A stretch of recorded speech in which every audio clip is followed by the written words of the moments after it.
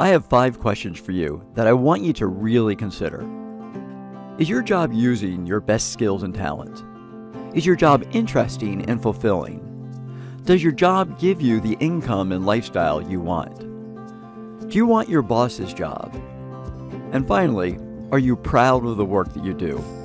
If you're like many of my clients, you answered no to many or maybe even all of these questions. And the reality is that you're in the wrong job and maybe even the wrong career. Many people who are in the wrong career resist making a change and often wait until all their options are exhausted. They avoid dealing with reality. I can assure you that if you resist dealing with reality long enough, a backlash will be inevitable. The truth is often delivered by life as a blunt and painful experience. Our best skills and talents become weaker and outdated. We get frustrated and lose self confidence. We get stuck and miss opportunities for personal and professional progress. Eventually, we might even get a bad performance review or even lose our job. At first, the reality of our situation nibbles at us. Then it bites us, and wait long enough, yes, it sometimes even destroys us. Refusing to see, acknowledge, and deal with what's right in front of us is a way of coping, but in the end, you will not thrive.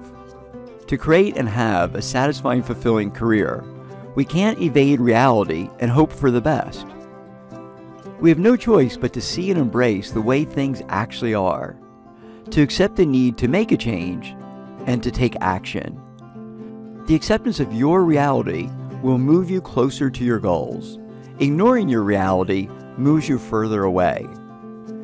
Denying reality for any reason leads only to stress, frustration, and making bad decisions.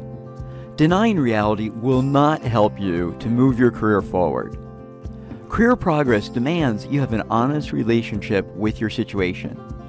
Your new career breakthrough challenge for today is to ask yourself what reality are you not facing at work? Make that truth your friend because accepting reality is vital to achieving the career success and satisfaction you want.